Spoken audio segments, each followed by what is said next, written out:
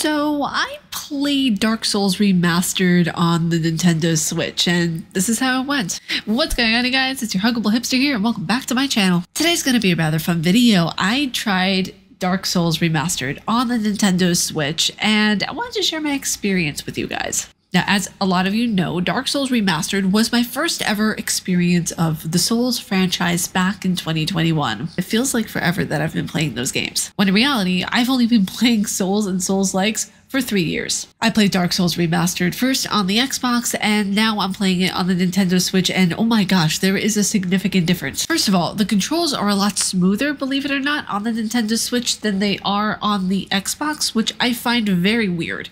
They're not clunky. The graphics are pretty impressive. I was actually really surprised at how actually immensely impressive the graphics were on the Nintendo Switch. See, all I need to do is now get it for my PC and the Holy Trinity will be complete. The controls were kind of weird, though, even though they were really fluid and really well done. The controls were kind of switched around, and it took me a hot minute to get used to.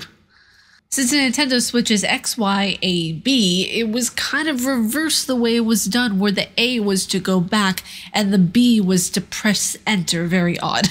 I'm telling you guys, when I played Dark Souls Remastered on my Nintendo Switch before going to bed while having a hot cup of coffee, I know, shut up, it was the most relaxing thing ever second to playing Cozy Grove on the Nintendo Switch before bed. Now, I'll give you guys a further update as I progress in Dark Souls Remastered on the Nintendo Switch, but for right now, it is so good. It's so buttery. The controls are really well implemented into the Nintendo Switch version, and I'm not noticing any lag or bugs at all whatsoever. All of the footage that you have been seeing in this video is from the Nintendo Switch. I know, crazy, right? It's really cool, and it's really awesome that this game has been ported to the Switch. Now all we need is Dark Souls 2 and 3 to be ported to the Nintendo Switch, and that will be absolutely perfect. Also, this is the first time in Dark Souls Remastered that I am utilizing magic because I hated the way magic was done in Dark Souls Remastered. When I first played at it, it was probably because I wasn't as accustomed to the Souls games as I am now.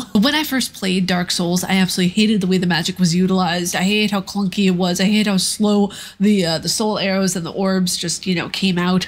But utilizing it now, having played more Souls games, having been immersed in the community and the games and Souls likes for over three years, it's really good. And the magic in this game is also quite broken.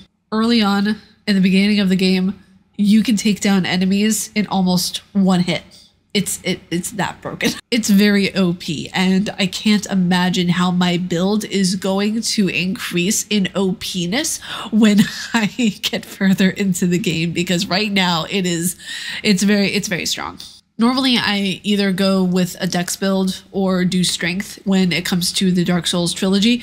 Um, the first time I ever actually tried a magic build was in Elden Ring, and I had so much fun with that. But you guys, I hope you all enjoyed this video. I cannot wait to give you guys an update as far as my adventure on Dark Souls Remaster goes on the Switch. If you guys have any questions about anything Souls or Souls-like, hit me up down in the comments below, and I would love to answer. But that's it for today's video, you guys. If you all like my face and what I do, please be sure to subscribe and hit that bell down below below. I make videos every weekday here on YouTube. May you find your worth in the waking world, your hunter. Stay casually nerdy, and I will see you all in the next video. Umbasa.